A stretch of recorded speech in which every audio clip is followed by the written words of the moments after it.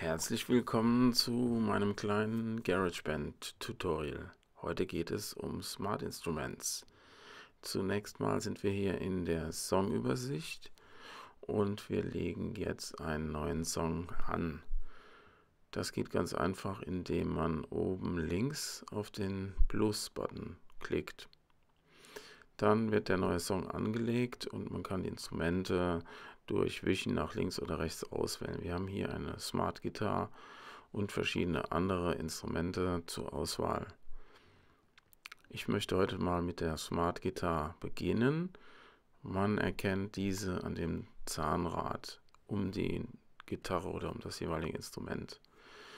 In dem Screen kann man jetzt oben rechts, indem man auf den äh, Werkzeugschlüssel klickt, verschiedene Einstellungen tätigen. Zum Beispiel das Tempo einstellen, indem man manuell das Tempo mit den Pfeiltasten verändert oder das entsprechende Tempo einfach auf den Tab-Button eintippt. Man kann auch die Tonart verstellen. Hier ist auf C-Dur. Man kann jetzt alle möglichen Tonarten auswählen. Wir machen es nach D und dann sieht man auch, wie sich die Akkorde im Smart-Instrument schon gleich anpassen. Und dann sind wir eigentlich auch schon bereit für die erste Aufnahme.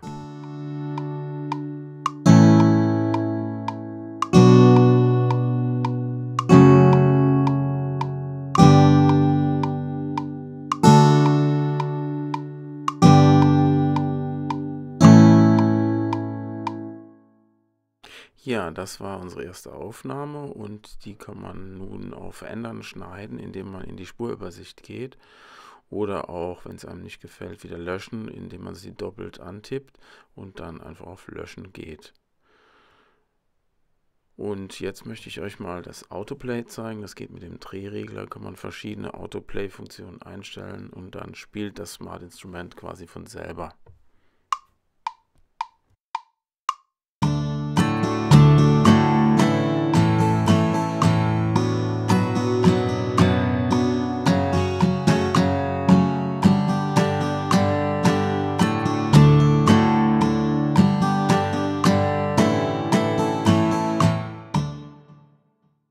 Ja, wieder in der Spurübersicht kann man auch weitere Instrumente hinzufügen, indem man unten links auf den Plus-Button klickt und dann kann man wieder verschiedene Instrumente auswählen. Ich nehme jetzt mal ein Smart Drum und in dem Smart Drum kann man auch verschiedene Instrumente natürlich auswählen. Das geht bei allen Smart Instruments. Hier zum Beispiel auch ein akustisches Drumset und dann einfach die entsprechenden Drums nach links ziehen und dann spielt das auch schon automatisch los. Das kann man mit dem Rekord-Button dann auch wieder aufnehmen. Ja, ich hoffe, es hat euch ein bisschen gefallen. Wenn man fertig ist, dann will man seinen Song natürlich auch sichern.